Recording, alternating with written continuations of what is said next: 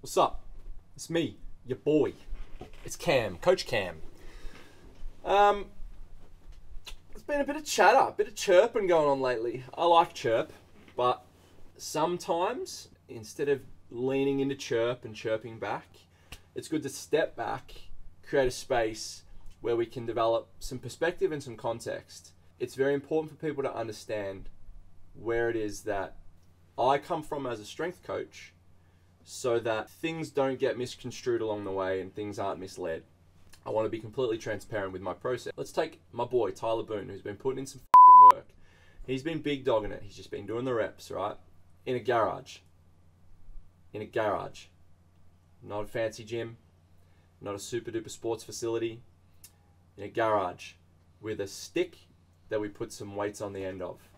Tyler Boone. was able to build this in a cave with a box of scraps. Tyler is very strong. What Tyler has needed more than anything hasn't been some objective, by the numbers, cookie cutter strength program. Tyler has needed guidance, he's needed coaching, and that coaching involves helping him understand what strength is intrinsically, and that is its confidence.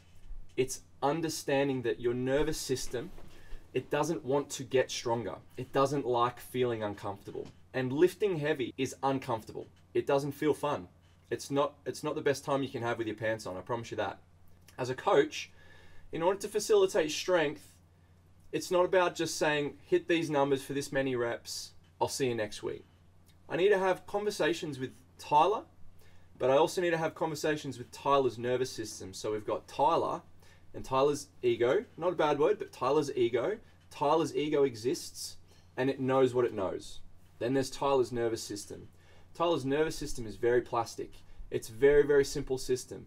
I stress it out and then it adapts. If I don't stress it enough, it doesn't adapt. If I go for a long time not stressing it out, it adapts to that and then that becomes, well, this is my training and I don't need to train harder because if I train harder, XYZ happens. And we start to make all these excuses for ourselves as to why we shouldn't train harder. It's conversations with Tyler explaining to him that even though this 195 that we're about to pick up is heavy, heavy, subjective, never changes. If I was to get him to do 165 uh, for as many reps as he could, then the last rep that he does at 165 is heavy. The nervous system just feels heavy. But if it doesn't get exposed to heavy, you'll never find the confidence to pick up heavyweight, objectively heavyweight. Now, this is 195 kilos, objectively, because we can measure that. But then subjectively, you'll watch Tyler's nervous system go through a phase through this lift that he hasn't been before. And we were talking about this yesterday. I have videos of Tyler hitting 165 and 170, and then we would go for a double, and he would try to pick up that 170, and he would get it to mid shin or maybe just below the knee, and then he'd put it down and say, "Nah, it's not moving anymore." Now, as a coach, it's very frustrating when people don't back themselves in, but I need to be able to show Tyler footage of himself and say, This is what we're working with. You've got it. You've just got to trust it. You've got to have a bit of confidence. It's about building trust between me, the coach, and Tyler, the lifter. It's about building confidence and trust between Tyler's ego and Tyler's nervous system. They've got to shake hands so that Tyler's ego knows, okay, this is what it feels like to work where we need to work. And Tyler's nervous system says, this doesn't feel comfortable, but I'm confident that Tyler's ego can manage this. Now let's watch this 195 come up. This is a PB for, for Tyler. This is a big PB for Tyler as well. In a garage, right? With minimal G up. It's raining. It's it's freezing cold. It's pissing with rain. We're in a garage. You goddamn right we're in a garage with a metal stick and some plates on the end. 195. Watch him pick this up. Look at this.